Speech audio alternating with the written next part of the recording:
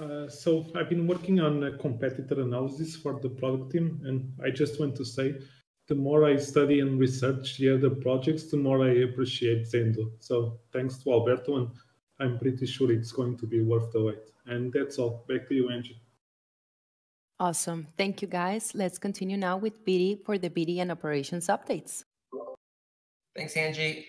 um, so today, uh, uh, Vano has no integration updates for us. Uh, so I'll turn it over to Caspers to talk about um, uh, our side our sidechain partnership outreach campaign and just a little uh, uh, update.